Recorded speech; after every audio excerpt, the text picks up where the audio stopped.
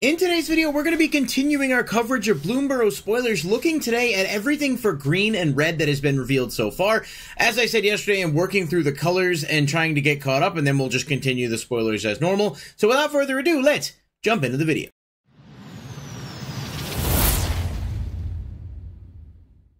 Everybody, thank you so much for being here. Welcome back. And as I said in the intro, we are going to go ahead and cover everything red and green that's been revealed so far at the time I'm recording this. Um, just trying to play a little bit of catch up here. I made a video yesterday talking about all the white stuff that had been released so far. So if you haven't had a chance to see that yet, go ahead and check it out. Also made a video covering Bloomburrow from a collecting perspective as well that you can check out. Um, those will all be part of the Bloomburrow playlist that this video will also be on, so you can check it out there.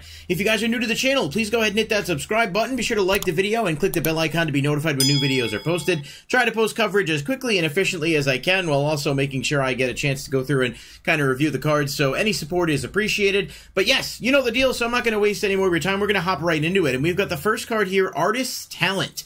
Nice to see classes making a return after Adventures in the Forgotten Realms, which is like two years old at this point. This is one in a red, and it says gain the next level as a sorcery to add its ability. So one of the level up sagas where you basically pay the mana cost to allow the next ability to sort of become a part of the saga. Whenever you cast a non-creature spell, you may discard a card. If you do, draw a card. Non-creature spells you cast cost one less to cast, and if a source you control will deal non-combat damage to an opponent or permanent that opponent controls, it deals that much damage plus two instead. So honestly, across the board, this card is just really, really strong in every facet. The first effect is solid for cards like Dragon's Approach. I saw some people make that reference. Being able to, um, you know, discard, get extra draw power, kind of keep cycling through your deck is definitely a strong option. And I think in Standard specifically, Mono Red is really going to like having access to this. The second effect, reducing the cost of non-creatures, it's never going to be bad. Turning something that might cost one in a red into just one red is definitely a a powerful thing, especially when red is not like ramping mana. So if you have the ability to play more spells, it feeds into things like storm decks and other things. And then that last effect, you know, buffing the amount of damage that non-combat sources will deal, turning your play with fire into a four damage instead of a two, etc. Um, just across the board, a really well-designed card. Cool to see classes back, and I look forward to seeing what other stuff we're going to get in the set. Nothing really bad to say about this. I just think it's a strong card overall. Might of the Meek is one red instant. Target creature gains trample until end of turn. It gains plus one plus zero until end of turn if you control a mouse. Then draw a card. Definitely a card that's geared more towards drafting or maybe like a mouse type type deck. Um, it is certainly not anything you know game changing or groundbreaking, but it's not a bad card by any stretch of the imagination. It just sort of exists. So you know take that with a grain of salt. But I did want to cover it because it was here.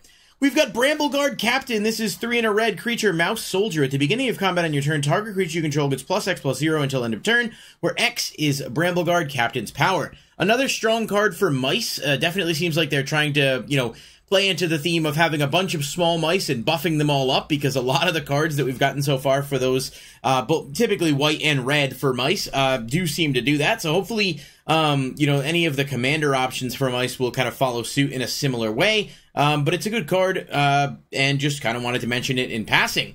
Now, Manifold Mouse is one I like quite a lot. This is one in a red creature, Mouse Soldier with Offspring 2. We talked about Offspring yesterday. If you missed it, uh, you pay 2 when you cast it, you create a 1 1 token copy of it. So nice, you know, option to have some extra stuff on the field. At the beginning of combat in your turn, target mouse you control gains your choice of double strike or trample until end of turn. And obviously, if you make a copy of this, you can give something both of those effects, so that's kind of one of the biggest um, things. But you can also give, you know, two mice, double strike. I mean, there's obviously different ways to play it.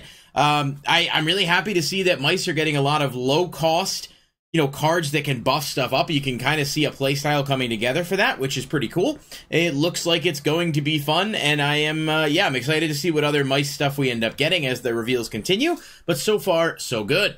And finally, for red, we have Season of the Bold. This is three and two red, part of the same cycle. Uh, you may choose up to five paw prints worth of modes. You may choose the same mode more than once. So if you use one, create a tap treasure token. Two, exile the top two cards of your library until the end of your next turn. You may play them. Or three, until the end of your next turn, whenever you cast a spell, deal two damage to up to one target creature.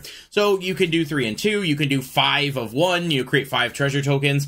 Um, there's a lot to work with here. Five mana is obviously a little costly. However, there is enough flexibility in this card, I think, that it's balanced and decent enough that it might see some play. It feels a little slow for standard, but I'm sure there's going to be some formats where it'll have at least a bit of utility. Um, it's not the strongest I've seen up to this point of the season cycle, but I do think it's going to be pretty good. And, uh, you know, it's certainly as rotation happens and new things come into standard, it's a card that's probably going to at least have some looks just because it could end up being um, better than it seems on paper. But let me know what you guys think of this card in the comments section down below. I always like to throw there for feedback because sometimes, you know, when I'm doing these initial reactions, I don't always have the best view or gauge of what we're working with. You know, it's kind of hard to think of everything all at once. And so, yeah, that's kind of where my, my brain ends up going.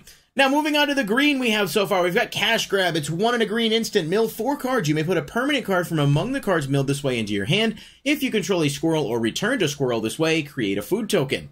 Uh, I'm pretty sure this is like almost an identical copy of another card that exists, the name of which I cannot uh, think of off the top of my head. I wish Scryfall had a category for like similar effects or similar verbiage, and maybe there is a way to find that, and I'm just not familiar. But it's it's cute, uh, certainly decent, I guess, for squirrels. Um, with a lot of the stuff that's kind of reliant on food tokens now, with things like forage, it's definitely a bit better than I would have initially given it credit for. Uh, but it's a common in the set for a reason, and while it's decent, I don't think it's anything worth spending a ton of time on. Hunter's Talent is the next class. This one is another enchantment, and it's one in a green. When it enters, target creature you control deals damage to its power equal to a creature you don't control. When you level it up, it says whenever you attack, target attacking creature gets plus one plus zero and trample until end of turn. And at level three, at the beginning of your end step, if you control a creature of power four or greater, draw a card. I like this a lot. As someone who plays mono green and commander, um, I do think this card's really solid. There are plenty of cards that have that first effect but don't have anything else. So just that alone, I'm going to be playing this. I'm going to be able to pop something, and then I'll get additional use out of it in later turns. It's really not a bad card overall. It's not quite as good as the artist class in my opinion, um, but it's it's still artist talent. Sorry, but it's still a really really solid card for green. Happy to see it, and I like that we're continuing to get some solid uncommons here. So no complaints on my end. Lumra Bellow of the Woods, we talked about this card in a previous video, so I'm not going to get too deep into it, but just, you know, it it's a cool card that looks like it's going to have some fun potential as a commander. I don't know what other bears, if any, we're going to be getting in the set, because I do think this is one of the um, Calamity Beasts, so it may just be a one and done in terms of the bears.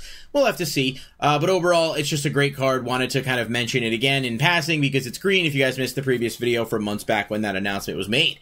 Sunshower Druid is one green creature, frog, druid. When it enters, put a plus one plus one counter on target creature and you gain one life.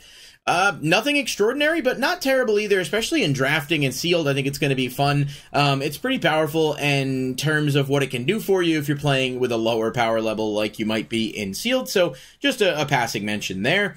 Uh, Tenderwild Guide, a hugely popular card so far, particularly because of its adorable little token. Uh, but it's one in a green possum druid with offspring too. You can tap it to add one mana of any color, or tap it to put a plus one plus one counter on this creature. So, you know, playing it with offspring, you're paying four mana to have the ability to get two mana each on future turns of any color. Um, I think Green's certainly going to like this, but obviously it feels like a card that'll be strong in Commander because of its flexibility, uh, and it's just adorable. So that's that's kind of a little bit of a bonus if you ask me.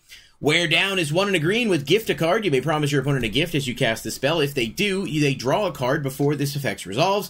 Destroy target artifact or enchantment. If this gift was promised, instead draw destroy two target artifacts and or enchantments. I love this card. I think it's extremely strong for an uncommon.